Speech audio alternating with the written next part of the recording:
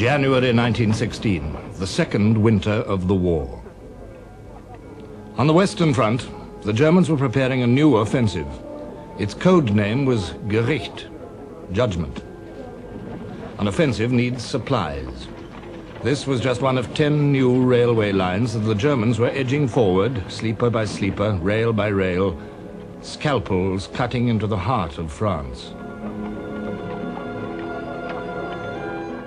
Few miles away to the west, ten miles behind the French line, lay their objective, Verdun.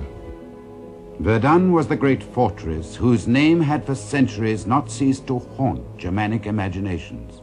It was the great advanced citadel of France, the principal bastion of her eastern frontier, whose fall, resounding throughout Europe, would efface forever the victories of the Marne and the Yser. And in 1914, before the Battle of the Marne, it had stood like a rock against German assault. Had it fallen, Paris, even the war, might have been lost. It was the hinge and pivot of the whole Allied line, jutting like a huge elbow into the German positions. On the map, Verdun's defenses looked formidable. Between the town and the front line, ten miles to the north, were a ring of forts some 20 large and 40 small ones. Strongest of them all, cornerstone of the whole system, was Douaumont. Forts like these had been built to be impregnable. In fact, Verdun was one of the weakest points in the whole Allied line. In the previous summer, French general headquarters had begun to strip the forts of their guns. By now, January 1916, over 200 guns had been removed from the forts for mobile use elsewhere, together with a vast amount of ammunition. There is no evidence that the Germans knew how weak the forts were. Their decision to attack Verdun was taken for quite different reasons, and it was taken by one man, Generalleutnant Erich von Falkenhayn, chief of the German General Staff. In December 1915, he had written to the Kaiser, the strain in France has about reached breaking point.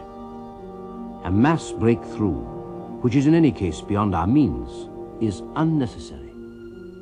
Within our reach, there are objectives for the attention of which the French General Staff would be compelled to throw in every man they have. If they do so, the forces of France will bleed to death. Falkenhayn's directive to the staff of the German Fifth Army spoke only of an offensive in the direction of Verdun. There was no mention of capturing the city. But the Crown Prince William, the Kaiser's eldest son, who commanded the Fifth Army, had other ideas. The objective is to capture the fortress of Verdun by precipitate methods. It was this discrepancy in interpretation which was to cost Germany dear. 140,000 men were assembling for the attack. Entire villages behind the lines were evacuated to make room for them. Most impressive of all were the guns. The guns that were to do the bleeding white. The guns came from as far away as Russia and the Balkans. Siege mortars, naval guns, quick-firing guns, field guns, mine throwers. 1,200 guns in all and to supply this fearsome armory 1,300 munition trains, two and a half million shells. With the greatest secrecy, the build-up continued through the damp days of January. On the other side of the lines, alarm at the state of Verdun's defenses had at last penetrated to general headquarters at Chantilly. And the French Minister of War, General Gallieni, wrote to the Commander-in-Chief, Reports have come to me indicating that in the Verdun region, the line of trenches appears not to have been completed. Should the enemy break through, not only would your responsibility be involved, but also that of the entire government. Joffre replied, Nothing justifies the fears which you express in your dispatch. German planes patrolled the forward area in strength, waiting to pounce on any French reconnaissance planes. They had complete air superiority.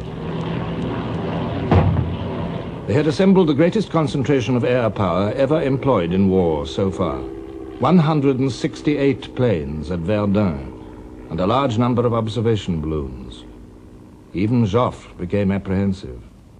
Our minister to Denmark telegraphed that a German offensive was being talked about. This was immediately confirmed by news from Switzerland of the concentration of 400,000 men in the region of Verdun. A regiment of engineers was immediately sent to Verdun to strengthen the defenses on the east bank. Time was running out. German deserters were crossing the lines in ever increasing numbers with stories that all leave had been cancelled, that something terrible was about to happen. Men, and still more men, marching towards Verdun. They were old hands, these men.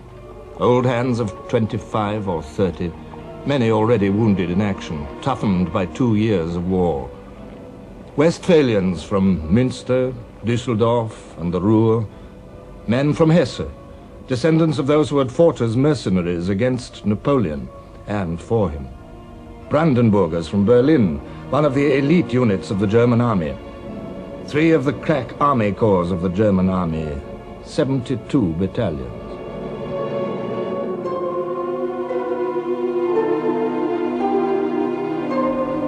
Their wait was a fearful one. On February the 11th, the day before the attack, Verdun's treacherous climate came to the aid of the French. The attack was postponed. It gave the French a little time to improve their defenses, to settle in two new divisions that had just arrived. These men, like the Germans, were veterans, young men grown old before their time. Poilus, the French public called them, the hairy ones. It was a nickname they disliked. Few of them fought any longer for such noble aims as the recovery of Alsace and Lorraine. They fought for the remaining land of France. And so they waited. 34 battalions of them, 30,000 men. Ill-prepared, outnumbered by over two to one, and by much more in guns. The hour is near. In our wood, the front trenches will be taken in the first minutes. My poor battalion, spared until now. The dawn, February the 21st. Twenty miles behind the German lines, a Krupp's 15-inch naval gun raised its barrel from its camouflage netting.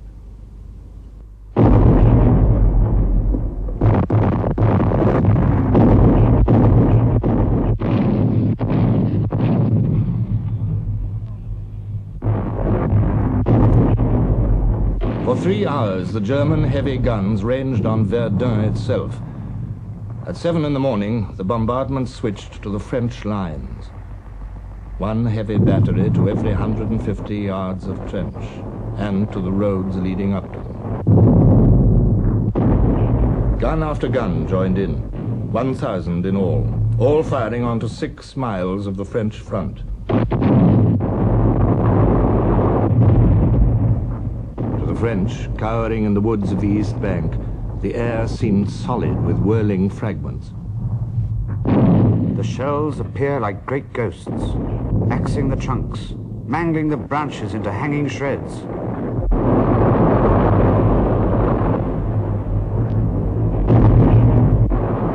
The crude iron of the shells shattered into huge ragged chunks that sometimes two men would be unable to lift. Men were squashed, cut in two, or divided from top to bottom, blown into showers, bellies turned inside out and scattered anyhow, skulls forced bodily into the chest, as if by a blow with a club. Here and there in the front line were a few men who by chance escaped. In all our minds we had the same thought, that everyone to right and left had been killed. A German airman reported, It's done. We can pass. There's nothing living anymore. A young Hessian scribbled a last note to his mother. There's going to be a battle here, the likes of which the world has never seen.